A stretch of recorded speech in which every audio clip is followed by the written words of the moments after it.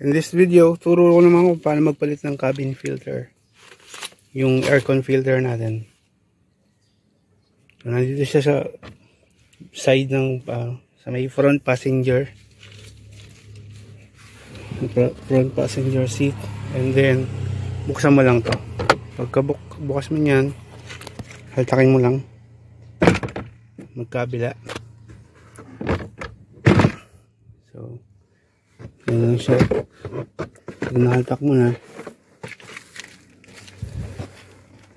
andito yung cabin filter natin. Dito. So, alisin mo yung lock. Press mo lang yan. And then yan. Ito na siya.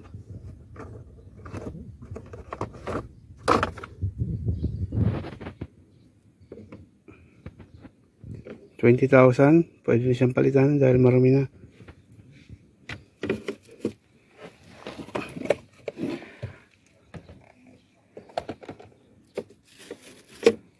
Ito yung papalit natin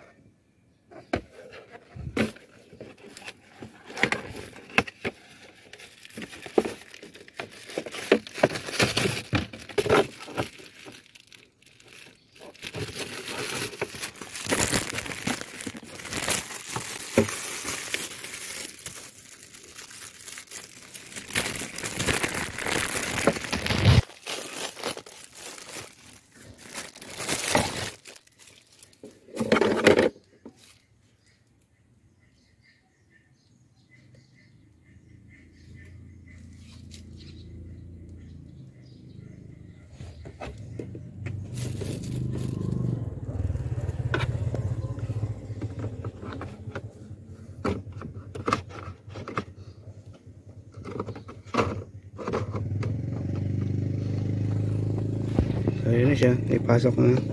Tapos para mabalik naman to pasok mo dun sa butas dun.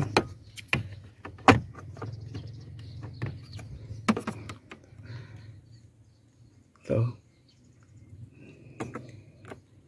Ayun yung butas dun na pinapasukan.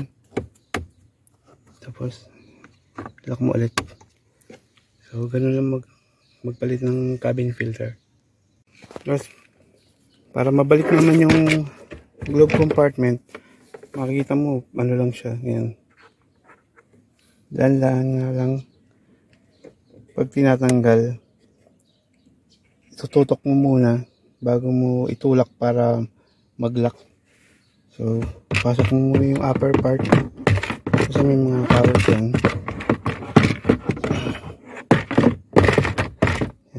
yan yung upper part tapos tutok mo yung dito sa kabila.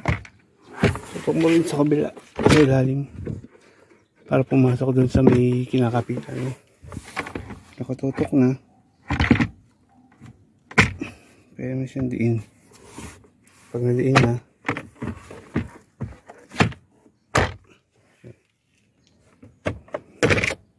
kabit na siya.